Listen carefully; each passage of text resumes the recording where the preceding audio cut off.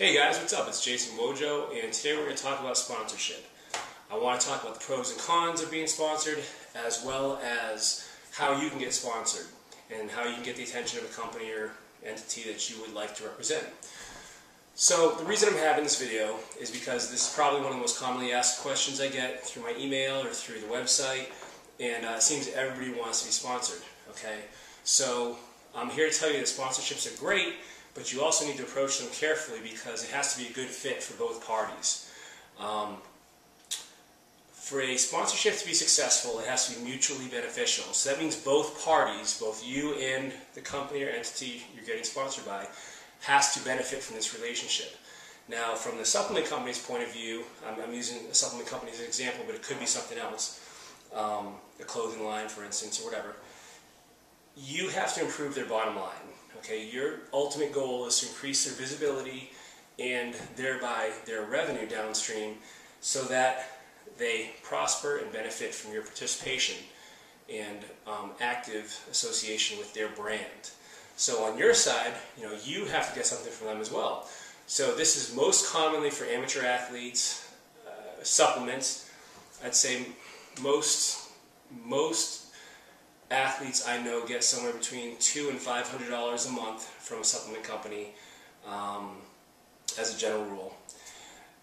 A few get money, not not many that I know of, and um, you know other things are important as well. Is this company gonna um, promote you in their ads? Are they to pay your contest expenses, travel, things like that? Okay, so these are just things you need to think about. What are you going to get out of the supplement company relationship? So, okay, assuming both sides um, are on the same page, the next thing you need to do is figure out how you can benefit this company. Now, they may have ideas for you already, but if they don't, you need to be creative. Okay, what are you going to do for the company? So you'll notice, you know, right now I have a True Protein shirt on. I'm sponsored by True Protein. I've been very, very blessed to be associated with these guys. Um, out, outstanding group of individuals, Dante specifically, and I'm always trying to think of ways to promote True Protein. Similarly, you're going to have to do the same thing with whatever company you are associated with. I have a stack of t-shirts that I wear all the time to the gym, to work, to the movie theater. It doesn't matter.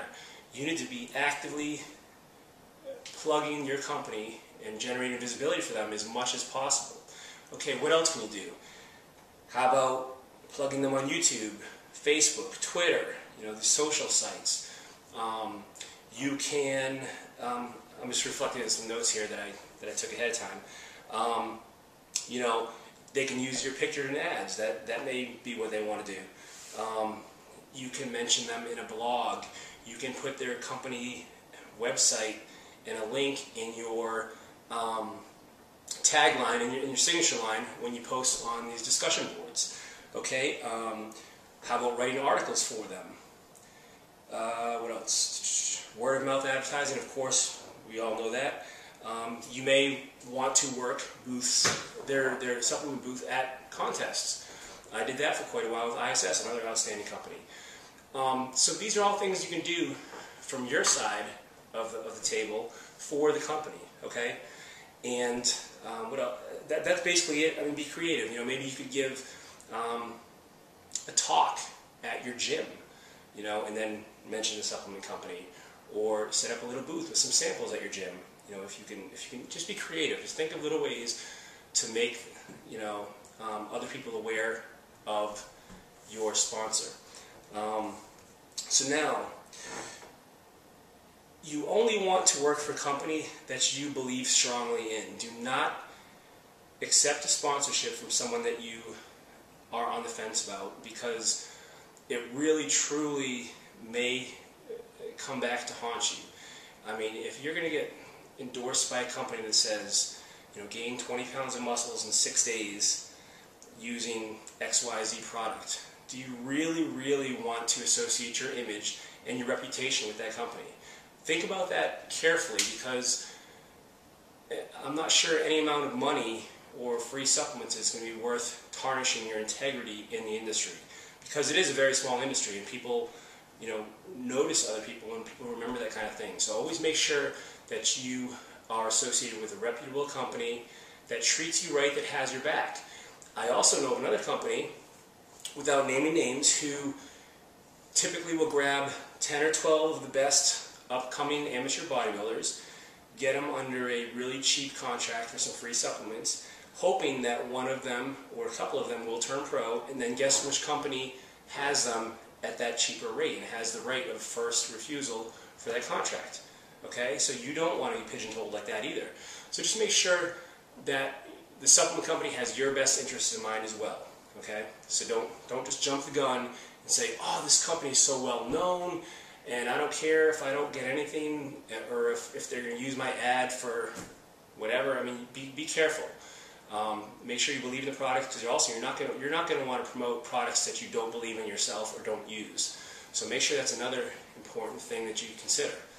Um, okay, how do you get sponsored? First thing you got to do is find out who at the company handles sponsorship. Some of the big companies have a sponsor representative that you can easily find out through um, if you if you contact the main number of the company. Typically, they can tell you who you need to talk to. Same thing, um, even with smaller companies they usually don't have a designated sponsorship uh, officer or anyone that, that oversees that, but they'll have um, typically in small companies it's it's the main owner of the company that you know decides, or you know maybe they all get together. You know, a lot of these companies only have three, four, five people in them, or less than ten at least. So it's not a huge, huge issue for one person. But you know, I'd say the owner of these smaller companies is probably the best person to approach, and you can get that information pretty easily too by calling the main main number, or emailing customer service at these companies. Once you do that, you need to put together an intelligent package that highlights your experience and what you plan on doing for the company, as long as excuse me, as well as a resume. Okay, now this can be a bodybuilding resume, which is important, but also don't neglect to include a regular resume. Nobody wants, um, how do I say this and be politically correct? Nobody wants a dumb meathead who can't pronounce more than two syllable words to represent their company. Okay, you need if you if you have a master's degree, that's fantastic. If you have a bachelor's degree, great. You know, show them that you are intelligent, um, you can communicate well with others, you're motivated, and you know, highlight all these things to make yourself appealing to that company. Now, um, if you are a contest bodybuilder, include some photos, a contest history, um, you know, your marketing plan. Include some of those ideas that we mentioned earlier in the video of what you plan on doing for the company. Um, if it's a company you really truly believe in, maybe even give them a pitch like, hey, listen, I'll do this stuff for free for a couple months. Tell me what you think if you're happy, and then we can we can negotiate something after that. You don't have anything to lose really, um, so that maybe that's an option.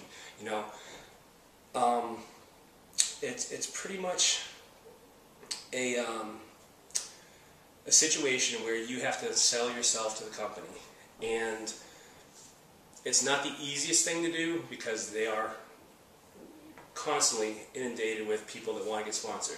So you really need to set yourself apart and show them what you're going to do for them versus what they are going to do for you. Because you know it's it's all about them, and and when it comes to that kind of situation, you need to appeal to their interests. Now, one thing I mentioned is, you know, I said contest history, this, that. If you're not a, even a contest bodybuilder, that's fine. You know, it doesn't really matter that much. As long as you um, still have great ideas for the company and look, you know, look like you work out, I'd say, and um, and have some motivation to, to really promote this entity, then I don't think you have to be a top competitor or, you know, um, national level bodybuilder either. So, you know, don't think that just because you're not a contest bodybuilder, you can't do this. You know, it's, it's, it's open to anybody that can benefit the company, I'd say. So, um, I think that's about it. If you guys have any questions, leave them on the video. I hope you enjoyed it, and I will see you next time.